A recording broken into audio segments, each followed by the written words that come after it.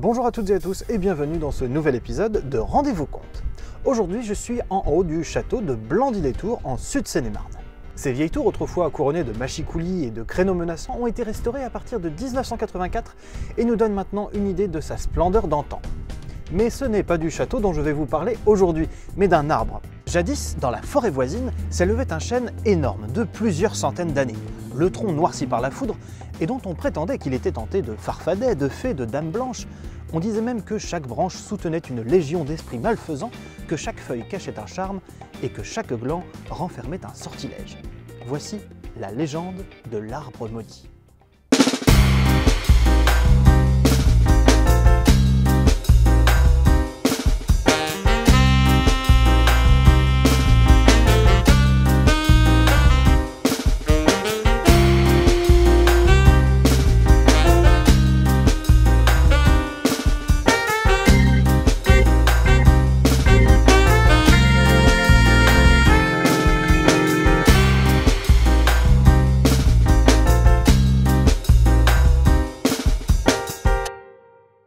Voici en 1070 et je vous présente Ursion, le vicomte de Melun.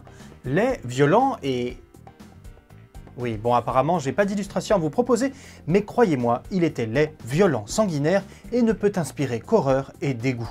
Cet homme est jaloux de tous, et surtout de son frère, le beau et tendre Mananès qui n'a qu'à se montrer pour faire tomber toutes les femmes. Bonjour, bonjour Gros problème, les deux hommes aiment la même femme, une certaine Odette, et cette dernière aime Mananès de tout son cœur.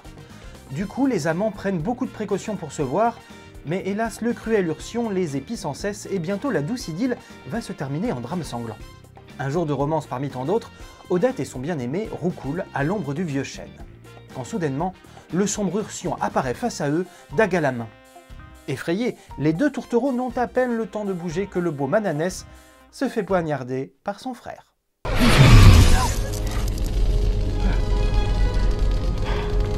Que devient Odette? On l'ignore totalement, mais elle est sans doute morte de chagrin, ou elle a été la proie et la victime du monstre. Enfin, en tout cas, depuis ce fratricide, à l'heure où le crime a été commis, on voit hanter dans ces lieux l'âme du défunt qui erre en poussant des gémissements. Du coup, cet arbre ne jouissait pas d'une excellente réputation auprès de la population locale. Il est même devenu un objet de terreur et il a reçu le nom d'arbre maudit. Et 400 ans plus tard, rebelote, le voilà au centre d'une lugubre histoire. À cette époque, Charles VII est mort, et la politique de son successeur, qui n'est pas Charles VIII mais Louis XI, irrite tous les princes qui se révoltent et forment la Ligue du bien public, dont un des principaux chefs était le châtelain de Blandy, le comte Dunois. Ce dernier, pour éviter la prison du Châtelet, s'est réfugié chez ses amis dans les états du duc de Bourgogne. Du coup, la seigneurie est administrée par l'intendant Gavy, un homme dur, avare, cupide et ambitieux, qui profite de l'absence de son maître pour rançonner sans pitié les malheureux vassaux du domaine en leur demandant des redevances exorbitantes. Tous les pauvres serfs, taillables et corvéables à merci, sont pressurés et épuisés jusqu'au sang. Chaque jour, Gavy grossit son trésor par de nouvelles exactions, chaque jour il augmente le nombre de ses crimes. C'est l'or Il est l'or Il est haï de tous. Et si un malheureux ose élever la voix pour se plaindre, eh bien aussitôt il fait augmenter le nombre de potences que l'on voyait non loin du château.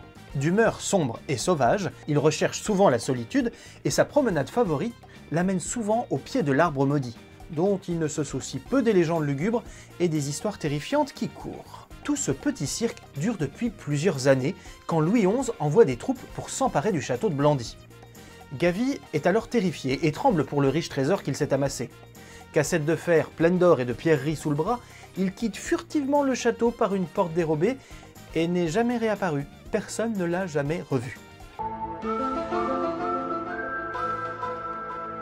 Le vieux chêne conservait toujours sa mauvaise réputation. Et elle s'est même accrue, car un bûcheron jurait que depuis la fuite de Gavy, une voix lamentable sortait de l'arbre maudit. Quand le comte Dunois, rentré en grâce auprès du roi, revient au château, il est fatigué de tous ses contes autour de cet arbre, et il décide de le faire abattre.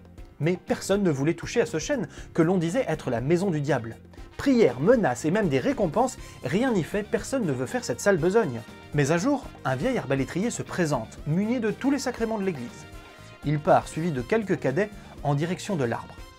Après quelques coups de hache, des ossements humains s'échappent du tronc. il découvre un squelette entier, debout, dans l'arbre. À la vue de ces restes humains, l'homme lâche la hache et toutes les personnes qui l'accompagnent s'enfuient en poussant des cris. Au bout de quelques instants, remis de sa frayeur, il reprend sa hache et redouble d'efforts.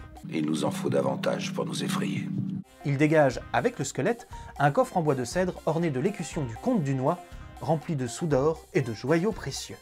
Du coup, tous les récits lugubres qui entouraient l'arbre maudit s'expliquent. Les gémissements entendus étaient ceux de l'infidèle Gavi, qui, en trouvant refuge dans le vieux tronc, en voulant échapper aux soldats de Louis XI, s'était fait engloutir vivant dans la cavité du tronc et que tous ses efforts réunis n'avaient pu parvenir à l'arracher à l'affreux supplice mérité par ses crimes. Merci à toutes et à tous d'avoir suivi cet épisode, j'espère que cette histoire vous a plu. Si c'est le cas, n'hésitez pas à partager la vidéo, à vous abonner à la chaîne, et on se retrouve très bientôt pour un prochain épisode de Rendez-vous compte.